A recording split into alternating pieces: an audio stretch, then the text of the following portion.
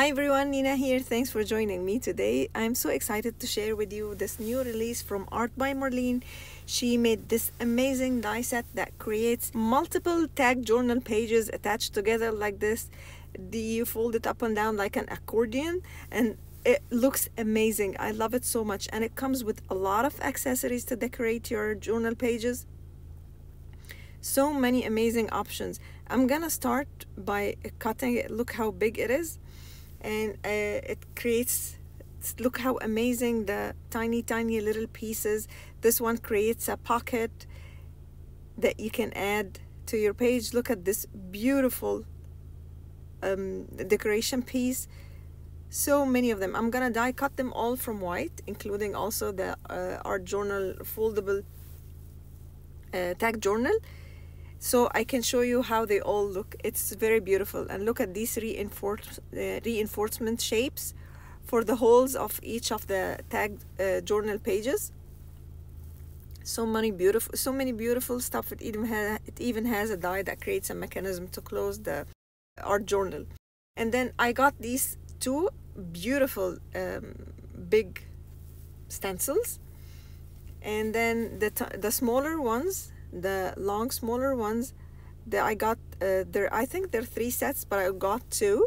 Each set comes uh, with three stencils. Look look at the beautiful tiny tiny de designs and details over here. It's uh, making it very easy to write a sentiment. And this is the other set. Look how beautiful that it's it creates a frame for your page. And look how beautiful this one I love this one a lot. It creates such a beautiful frame for your art journal page. They're all linked down below if you want to check any of. Them. here I use my die cutting machine and white Bristol smooth paper and then die, die cut all the pieces that are included in the die set. Look how beautiful this is. You just uh, alternate between um, uh, folding the art journal the tag pages and look how beautiful this design is really really nice. And these are the small little pieces. I did die cut them all also from white Bristol smooth paper. I use my tool-in-one uh, pick tool to remove the tiny pieces from the uh, that are attached to the tiny die cut pieces. Look how beautiful these are. And I'm gonna use a lot of them to decorate my art journal at the end. Today I'm uh, like showing you these unboxing these and then we are going to create a beautiful art journal using this set. Look how beautiful these things coordinate together. These two little uh, borders coordinate together. Look how beautiful this one is. And there are a lot of tiny pieces and a lot of borders. I love all the borders. Look how beautiful this one is. Check this one to decorate the art journal page. It's a pocket that you can add and then add this tiny tinier uh, tag inside it. Look how this is supposed to decorate the top of your uh, uh, tag page. Beautiful. I want to actually uh, create a sort of a rainbow colors. So I chose five colors from my distress inks that like so it would look like it's a rainbow. I want each page to have a color of the from the rainbow. So i started from the purple and ended up with ended up with the red. I did smoosh against my glass mat and then sprayed them with water and then sprayed my art journal as well. And i'm just going to flip my art journal and make a first layer of all these colors I will always smoosh it in the same order. I don't want to place it somewhere else because I don't want the colors to mix together and give me not a nice color. I want them to stay separate colors almost separate on each page. Over here I'm going to come again with the same color that I use for each page and I'm going to use my blender and slightly blend the edges to define the edges of each one I'm gonna even uh, fold it uh, so I do not accidentally blend the other color. And then I'm going to do the same thing for all the pages. Look how defined each page on its own. So beautiful. I use the same colors that we smooshed again the glass mat then I'm going to come with these beautiful two rubber stamp sets. They help me so much to create to decorate uh, my background even more. It gives a beautiful texture on my um, art journal pages. I'm using them I'm not using a acrylic block or anything because I don't want it, I don't want it to be stamped really properly. I want it to be sketchy like this, little bit here, little bit there. I'm using different stamps on different areas and I'm using my black archival ink so it stays permanent and it doesn't change no matter what I do on top of it. Then I'm going to come with my white gel pen and I'm going to color inside these stamped areas just for extra texture and extra interest on my pages. I'm gonna try to decorate each little area I don't have to color everything but I'm going to put like to add some lines over here and there and I'm gonna do it for all the pages so it's a seamless design on all the pages something that I want them to match together. I don't want it when you feel that when you open them up next to each other I don't want each one of them to have a different um, single vibe to it. I want them all to have the same vibe and match together. Then I'm going to bring my black marker thin black marker and I'm going to also color to draw sketchy lines over here and there color some areas where I stamped those little images to give black and white colors. Looks so beautiful. Over here I did choose some die cuts that I took out from these uh, booklets that I have from all art by Marlene different releases.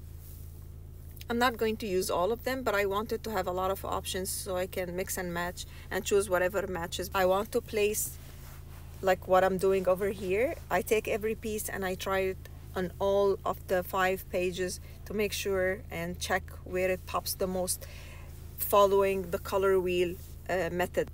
I had a previous video. It really explains how to choose the your die cut area or your focal element so it can pop against the background using the color wheel to help you choose what best colors match together. I'm gonna link it on the top right corners if you wanna check it. So over here, the girl is wearing this pink and blue color. So I found that it's gonna look nice on this sort of lemon color background. And then I'm going to go fast forward so you can see the process how I choose each of my elements on the pages. Over here I did find the card that is red matches perfectly with the blue tag page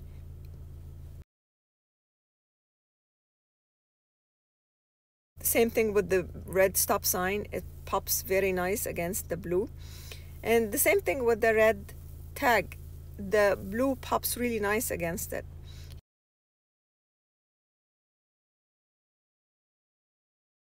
Here I did use the yellowish sort of greenish leaves against the purple. Look how it pops. And I also found out that the blue won't look nice here, the, the blue block, so I changed it for this yellow block. It pops nicely against the purple. And I'm going to take my time, find out what die cuts work the best for each one.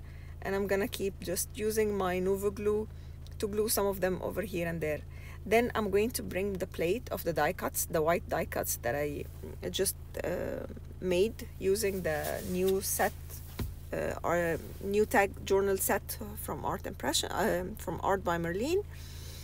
And I'm going to use them to decorate the art journal pages. We're done with the stamping and we're done with the with the die cuts. And then I'm going to use these uh, little decorations that came with the set to decorate with white. I'm adding some white over here and there and I want it to be seamless design so all the pages will match together. Then I found this piece that really looked so beautiful and pops against the red so much. And I decided to place it on top and match the bottom with with white as well. Uh, but when I finished the the white parts on the red tag, I found out that it, it has a lot of white more than the other tag pages. And that made me feel awkward because I told you I want them all to be seamless and I felt somehow that it needs to balance. If the last page has a lot of white I felt that the first page should have some white as well to balance it. Later I'm gonna bring a white strip and I'm going to put it around the to reinforce the opening the top hole of the purple uh, first page. Over here I'm I'm decorating more decorating more with the little pieces that I die cut. Here is the part where I decide to add more white on the left so they balance with the right and I did remove the little bit of the leaf so I can insert the white behind it and then I glued the leaf back on top of the white strip. I'm using my black uh, marker, thin marker, so I can define more the die cuts from all the booklets. It makes them really pop and show more. And over here, I found out that I totally forgot to ground my car. I always like to do that. I hate things are floating, especially when it's a human or a car or a tree. I always feel that it has to be uh, grounded somehow. For example, the blocks on the left are not grounded. It doesn't make me feel bad. These little blocks on the purple one. But what makes me feel bad when a person is floating, the girl is sitting on this line and the car is grounded with this hill. A human, a car, a, a tree, flower, I always feel that they have to be grounded.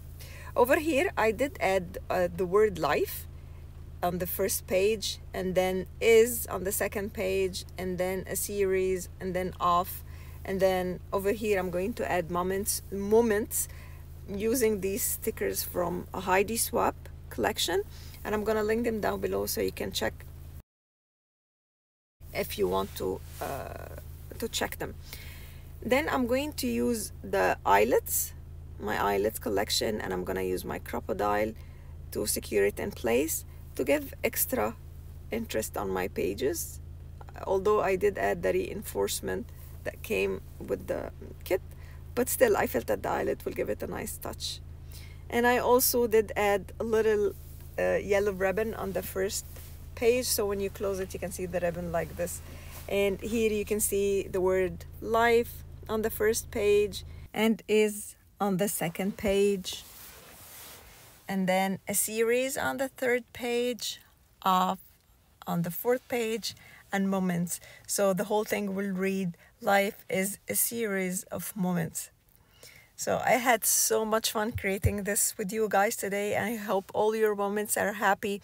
Thank you so much for joining me and I will see you all next time. Leave you now with the images. Bye!